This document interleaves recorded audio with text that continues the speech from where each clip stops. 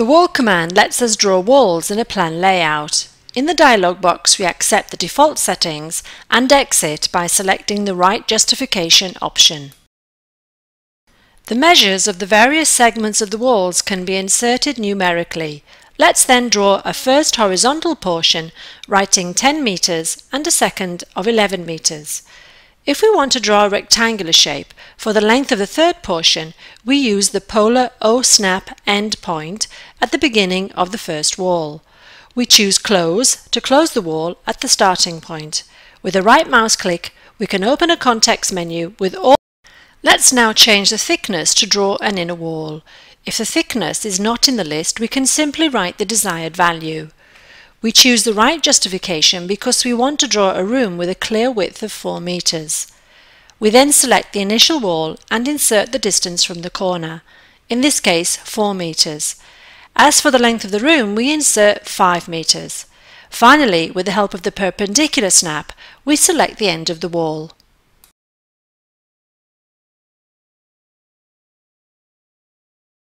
Let's now change the walls layer and select the left justification. This helps us to align the new wall to an existing one. We then select the starting wall and insert 0 as the distance. Using the arc option, we can now draw a curved wall. The reverse option allows us to reverse the side of the wall. We could also indicate the center and the corner but in this example we will just insert the chord and sagitta, the highest point of the arc. We finish the wall by selecting a point on the end wall. When we don't need to change settings, we can use the Wall D command to skip the dialog box. This time, we want to show the triangle option.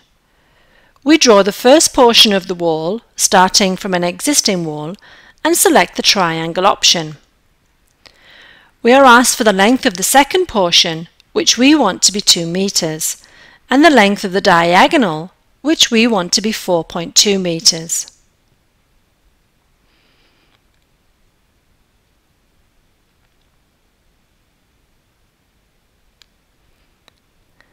And here is our wall.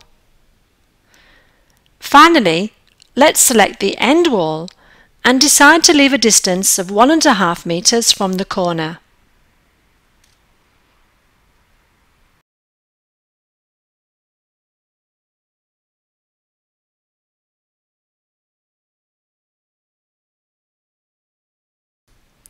There are other commands that speed up the designs of the walls in the plan layout.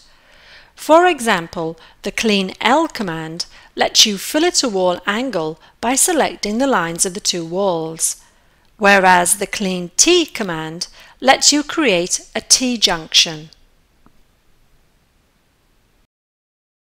A very important command to change the walls is Edit Wall, which allows you to create recesses and protrusions in the walls.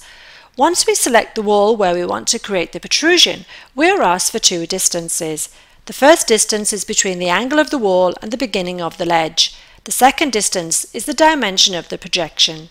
In the second example, we want to change the thickness of the wall. In fact, the first response to the command will be enter, and then with the width option, we assign the new value of 45 centimeters.